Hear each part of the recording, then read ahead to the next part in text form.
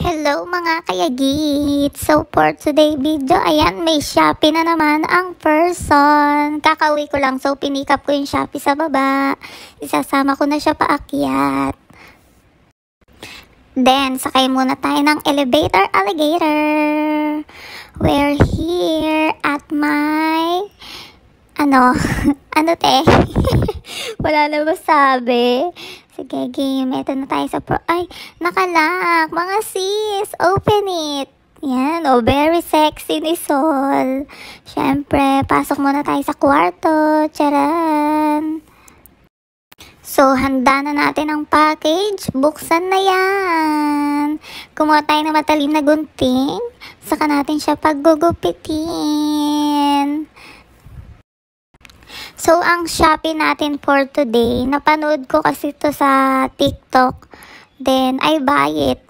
Bumili ako sa Shopee. Gusto ko siya i-try. Matagal na siyang nauuso guys eh. So, ako kasi mahilig akong mag-order, gaya-gaya. Ayan, na fall. Charan! Ayan ang item natin. So, familiar naman siguro kayo dun sa may nilalagay yan sa bowl eh. Yung pam pampasent siya or cleaning something. Ang cute kasi niya. Let's try. Ayan, tatry na natin siya. First color is yellow. Yellow is lemon. Ayan, medyo nahirapan ako maglagay. kasi hindi siya kaya ng one hand. So, standby muna tayo. Tingnan natin kung paano siya. Ayan, ganyan ako. Hirap na hirap po akong ilagay kasi inosente. Di ba? Charan!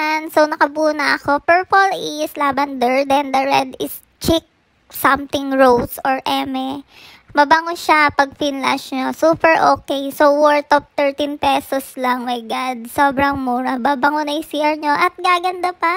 Thanks for watching!